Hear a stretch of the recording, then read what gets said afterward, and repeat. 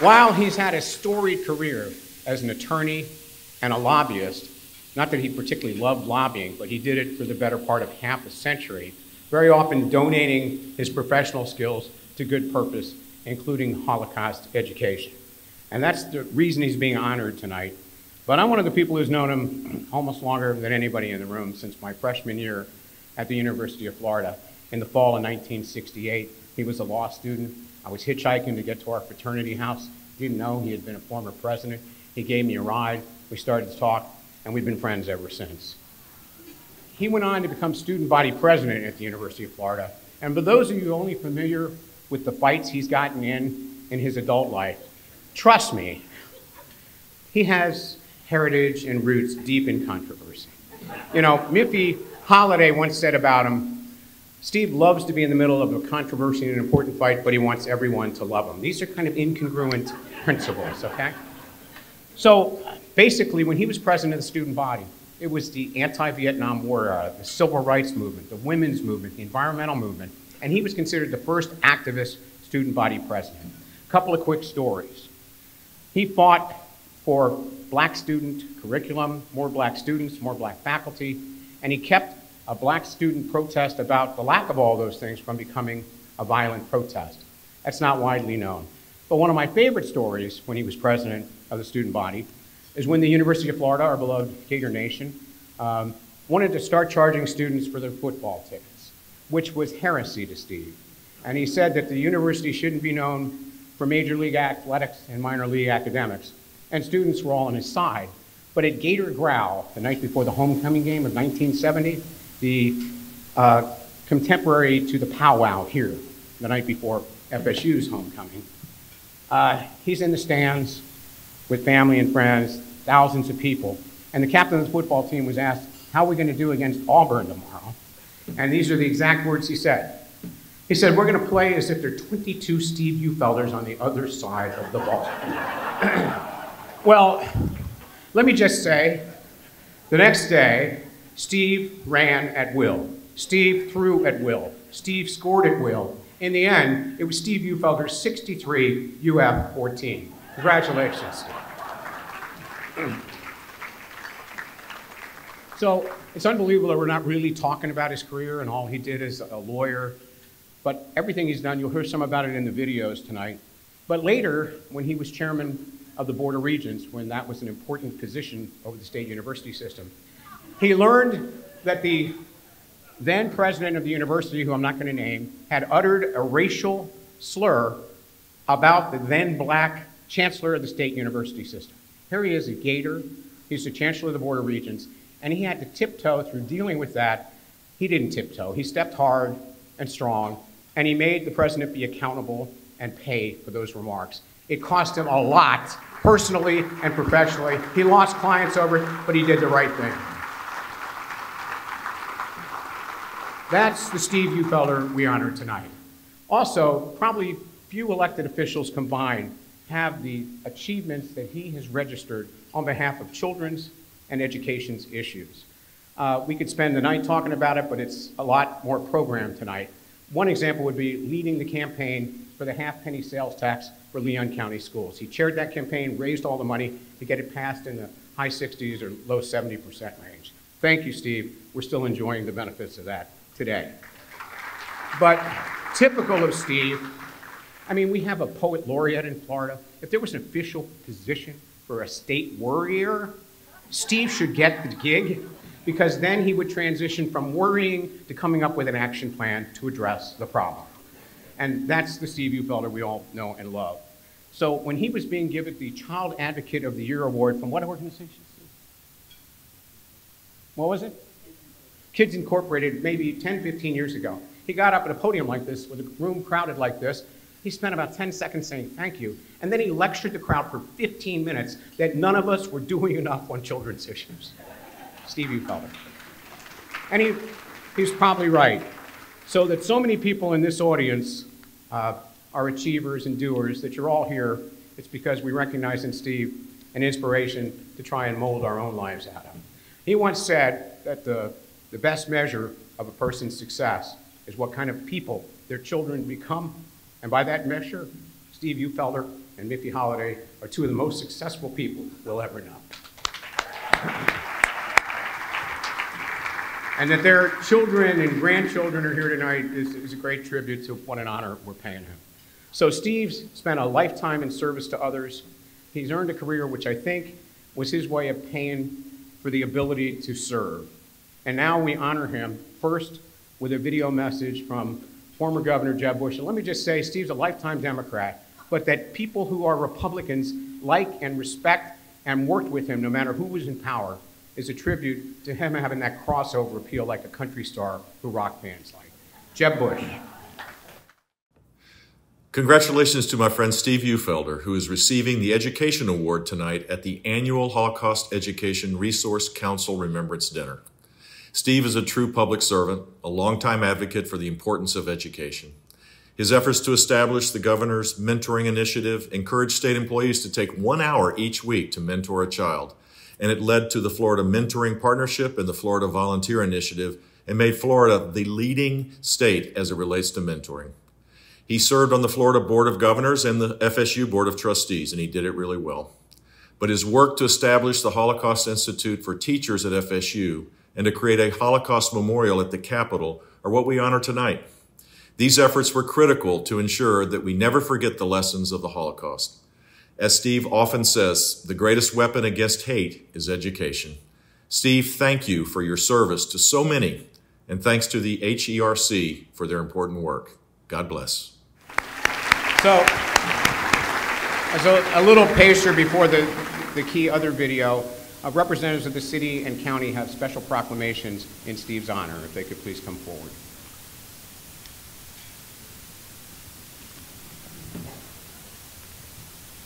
We've got County Commission Chair coming in, sir. And rather than read the, all the whereases, just get to the therefore.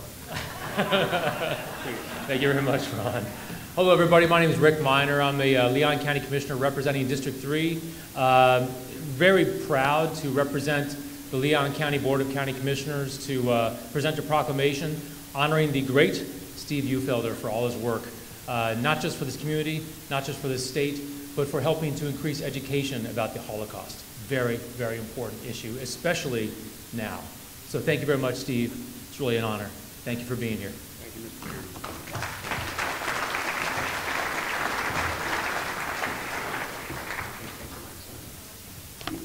I am not an elected official, and I am not the mayor, but uh, the mayor did want to express uh, his uh, congratulations. Uh, there's a city commission meeting this evening, and he could not be here, so he did uh, provide this proclamation. Ron, I'll No, let- go ahead. Give- Okay, give the key parts. I'll, uh, I'll give the key parts. Whereas Holocaust Education Week in Florida is held annually the second week in November, which coincides with the anniversary of Kristallnacht, November 9th and 10th, 1938, a major turning point in the prosecution in the persecution of European Jews by the Nazi regime. And whereas the Holocaust Education Resource Council, HERC, provides instructional guidance, support, and resources for educators who teach the history of the Holocaust and educational programs for the community at large.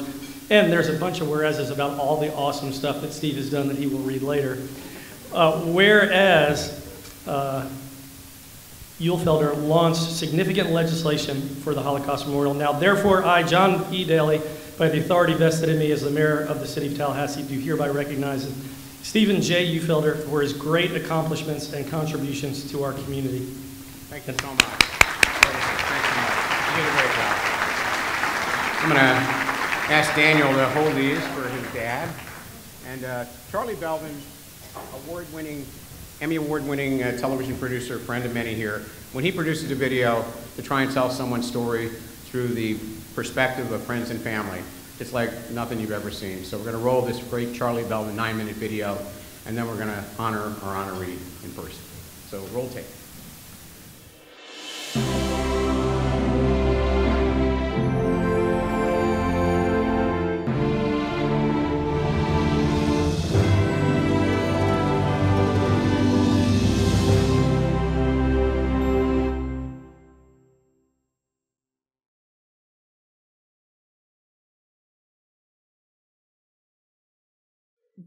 The beach was a place where they found peace and you know coming here to the beach and being here was just such a good thing for him to get away from Tallahassee and and and and so they always were down here, and they had this. He had this kayak, and he would go out in, in the Gulf of Mexico, and he just thought this was so funny. And he would come back, and he'd be like, and there'd be people all over the beach, and he'd be like, "Is this America?"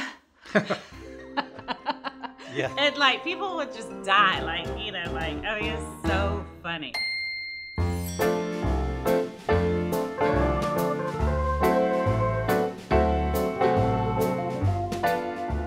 You know the uh, uh, he's not really playing a character, but Larry David's show, Curb Your Enthusiasm. Okay, that is Steve Uhlfelder. We'd go to San Francisco, we'd be at the Golden Gate Bridge, and he'd ask people, Do you know how we can get to the Golden Gate Bridge? And how many people would actually take them seriously? And growing up, Jamaica would go through the drive-through. We would never get McDonald's. I mean, like we were like that was the biggest treat. So he would go through backwards. Yeah, I do that now. The kids. Oh, you do? Great. Yeah, we drive. I through don't, but he go, would go Go through through back- backwards, It's fine. It really throws them off.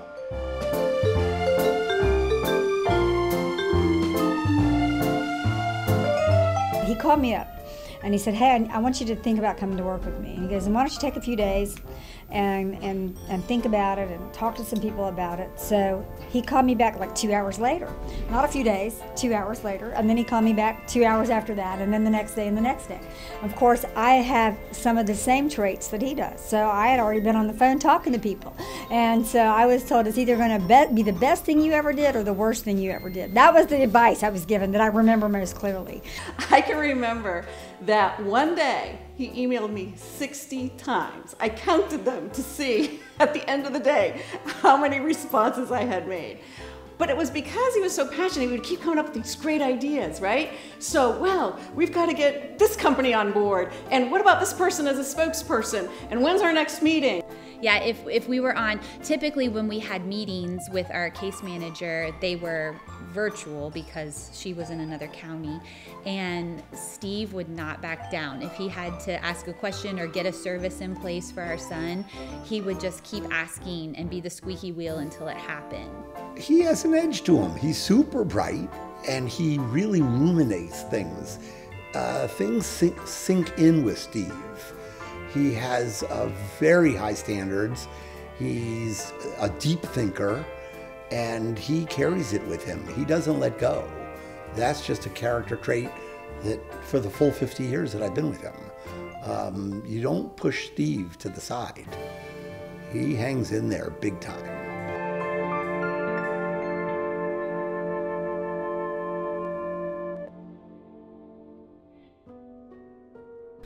I think, especially in the fields that Steve's worked in over the years, there's a lot of people who are doing things for their own benefit. And it's obvious, right?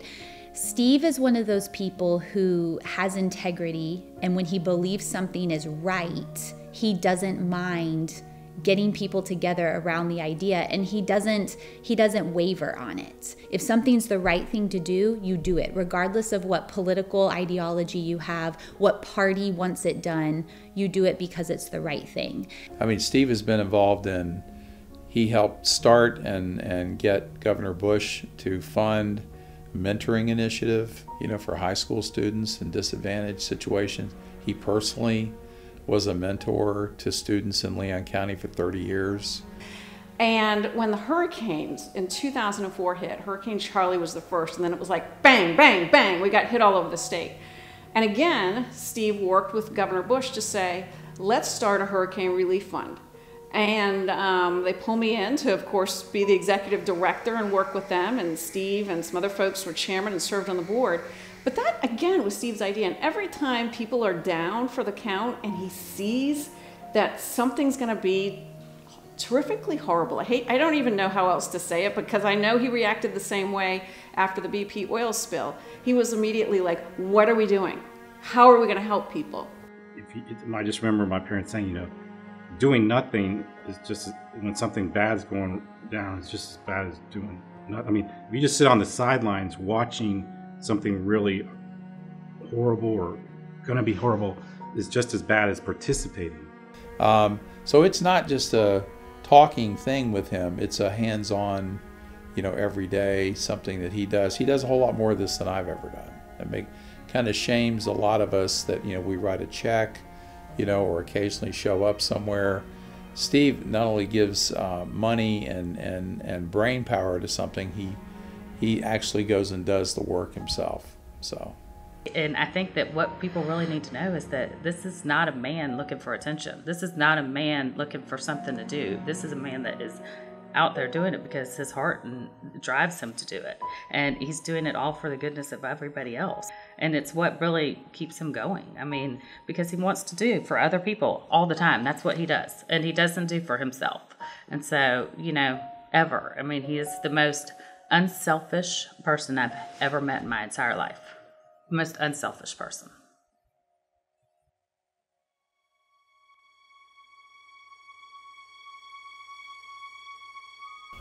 Well, Steve started this. I don't know if you know that, but this was Steve's uh, brainchild. Uh, yes, I mean this. That's why Steve's being honored here.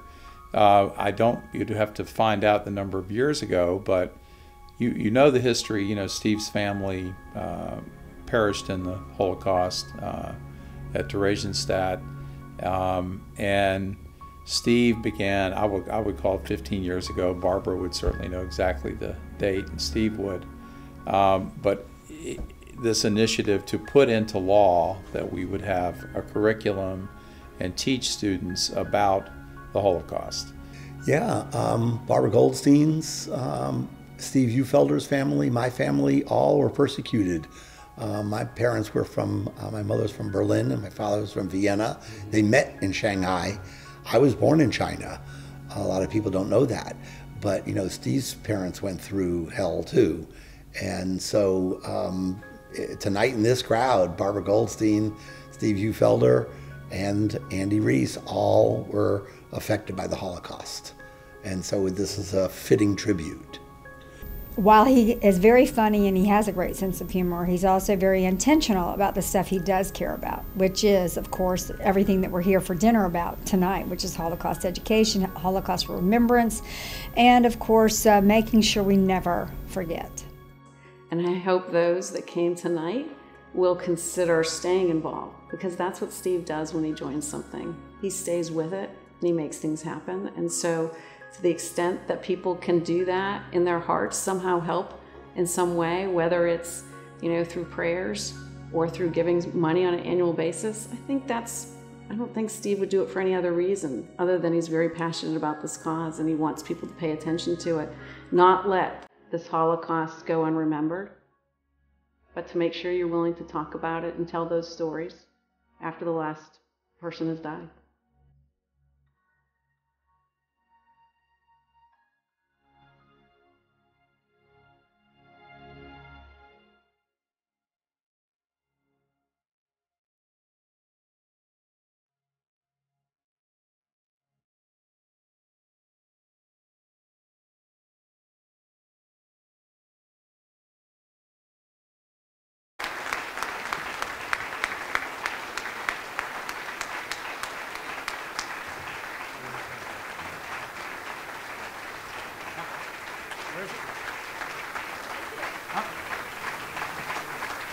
It?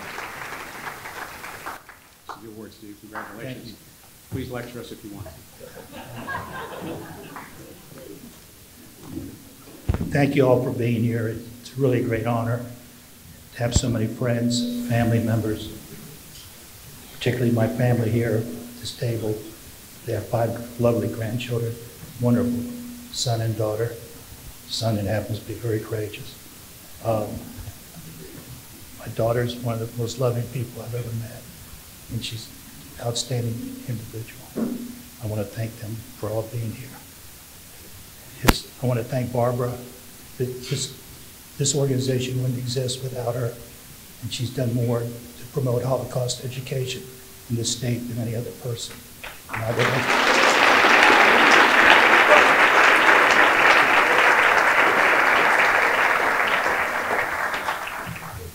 Uncle Willie, who my cousin mentioned, was my father. He was the first one up the ship when his sister Sam and his brother came from Germany. And uh, my father always told me, stand up for what you believe in. People didn't do that in Germany. It's, we live in a very fragile democracy today. There's a lot of division, a lot of hatred, a lot of misunderstanding, a lack of caring. The Holocaust didn't start in gas chambers. It started with words. And words have meaning, and they have a true great impact. And today's words are so nasty. When you see what happened on January 6th, you begin to wonder how we hold this country together unless we're strong and we do what's right, not what's politically correct always, but what's right. And if we do that, we can survive in this democracy. But I'm afraid people don't stand up for what they believe in and don't really take, get involved in politics. This country is going to have tremendous difficulties over the years. Bad men need not do nothing more to achieve their goals and their ends than good men should look on and do nothing. And I'll leave you with one word. There's a lot of wrong, a lot of good. But the wrong needs help. And those that don't have the advantages we all have deserve much better. And I'm a great believer in, in education. I'm so proud there's so many educators here and students because they're the ones that are going to carry on the future. And these, these kids here, you may never see a Holocaust survivor after tonight, or may not, my cousin may be one of the last survivors. But we got to remember that these people went through, and if you stay silent and you let what's going on in this country continue to go on with the hatred, I worry and I pray. But with strong people and people standing for what they believe in, we can do better. And this can once again bring together, together this country. Thank you.